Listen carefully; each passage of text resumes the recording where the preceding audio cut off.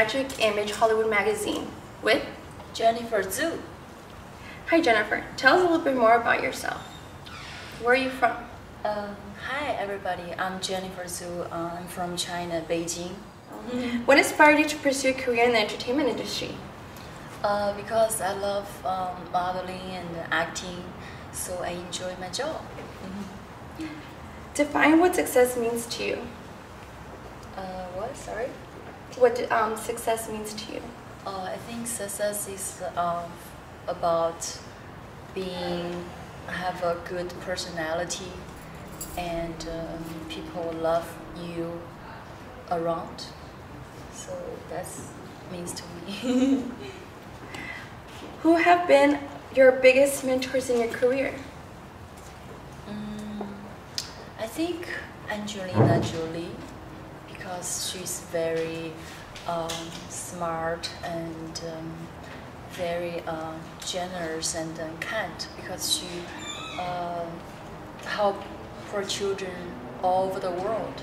So that's really I really admire that. Perfect. What are you working on right now? Any projects? I'm working on the, like a film. It's called Secret Love, um, and um, some of TV shows and um, radio shows. Yeah. What would you be doing if you weren't involved in the show business?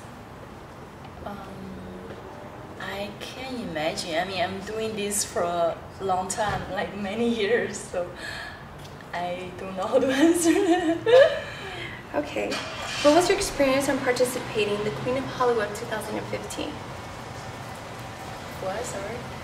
What was your experience in participating on the Queen of Oh. Hollywood 2015? Oh, I love to answer that question. So I had a, yeah, I had a great time, and um, and everybody was so um, smart and talented. So uh, we all had a beautiful time and an amazing event.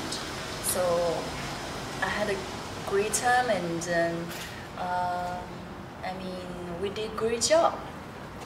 Yeah. Awesome. Tell us something that nobody knows about you. Ooh, secret. Wow. well, uh, my family, some of my family, they're in China. yeah. There you go. My name is Karla Rodriguez, reporting back to you Magic Image Hollywood Magazine. Back to you.